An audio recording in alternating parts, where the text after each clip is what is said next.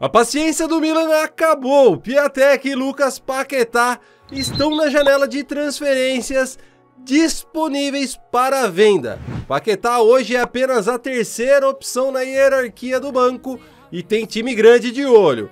Fica comigo para saber, mas antes, não se esquece, né, mano? Aquela moralzinha, aquela moralzinha, deixa o like, se inscreva aqui no canal, ativa o sininho, me siga nas redes sociais e sem enrolar, vamos lá pro vídeo de hoje.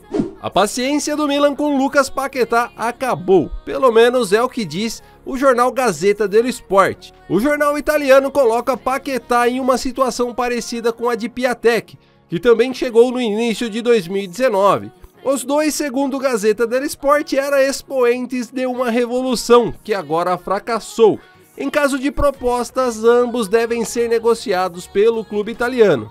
Ao falar sobre Paquetá, o jornal relembrou o bom início sobre o comando de Gattuso e a esperança de repetir os passos do compatriota Kaká. Uma lesão no tornozelo e o gancho por ter empurrado um árbitro, porém, frearam a evolução do brasileiro, pelo menos segundo a visão aí do jornal italiano. A chegada de Marco Giampaolo também foi ruim para Paquetá, o novo técnico chegou a criticar publicamente o Meia, dizendo que ele deveria ser menos brasileiro pelo futebol que vem apresentando. Já com o atual treinador Stefano Pioli, Paquetá retomou um pouco do espaço, mas o desempenho não correspondeu. Nas palavras do Gazeta dello Sport, na hierarquia do técnico, o brasileiro é apenas a terceira opção, atrás de Kessier e Krunic. Ainda segundo a publicação, o Milan espera a oferta certa, mas o PSG está de olho. Rapaziada, lembrando que eu comecei sem óculos e tô com óculos agora, né? Que vídeo do YouTube você vê isso? É só aqui, mano. É só aqui, o cara tá sem e agora tá com. Mas ó, seguindo o que a publicação disse, Paquetá pode ser liberado pelo valor de, de mais ou menos, de até não, né? A partir de 35 milhões de euros, o que dá aproximadamente aí na cotação atual 160 milhões de reais. PSG tá de olho na movimentação. Agora, você já imaginou Lucas Paquetá no PSG? Eu vou deixar a pergunta mais difícil do vídeo aqui para você. Paquetá no PSG, no lugar de quem?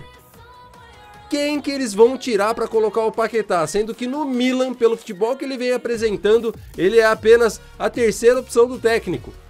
É, eu acho complicado ele ir lá pro PSG e conseguir espaço para jogar. Ele vai ter que voltar a jogar muita bola. Uma coisa é jogar bem aqui no Brasil e outra coisa é jogar fora lá na Europa, não é mesmo? Rapaziada, o vídeo de hoje é esse. A pergunta que fica eu quero saber de vocês. O Milan está certo em vender o Paquetá? E se ele estiver certo, você acha que o Paquetá deve ir para o PSG ou você acha que tem algum outro time aí que é mais certo pro Paquetá? Deixa aí nos comentários que eu quero saber a sua opinião. E quero saber também se ele for pro PSG, ele vai jogar no lugar de quem? Beleza, molecada? Vou ficando por aqui. Um grande abraço do Marshall, espero te ver no próximo vídeo e tchau!